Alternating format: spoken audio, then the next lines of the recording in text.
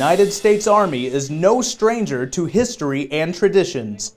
It is one of the things that keeps our military strong, proficient on the battlefield, and ready for any challenge.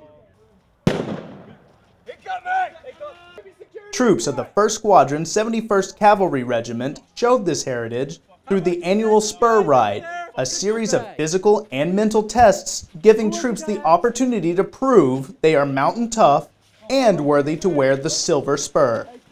The day's activities began with a Ranger-style physical fitness test, complete with a two-mile run in the Army combat uniform. The physical challenges of the PT test were just the beginning as troops faced many physical tests and road marches throughout the day. In spite of the grueling challenges that push the limits of what troops believe they are capable of, most of these soldiers seemed happy to be here.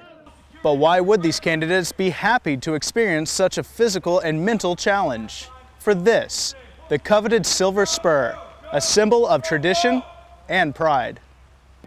The tradition of the spur ride reaches back to the beginning of the cavalry when new troops were assigned horses with a shaved tail, indicating the new recruits were in need of extensive training. Once able to show technical and tactical proficiency, troops like Private Tristan Zollers can now proudly wear his new spurs and feel even more like part of a team. It makes me feel like I'm actually like part of the Cav. Makes me feel like I like I'm part of their tradition. Joining the Order of the Spur is a moment of pride for many troops as they are now part of the cavalry history.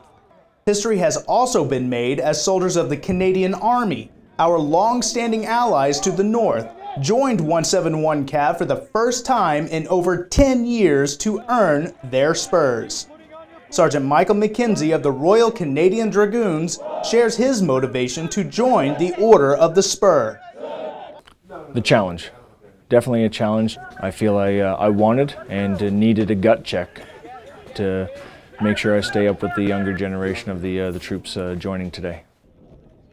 Last week's Spur Ride was a gut check for participants young and old.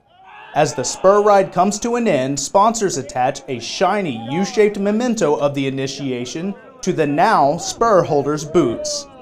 And at least for these troops, perhaps a reminder of the long-standing alliance with our brothers to the north.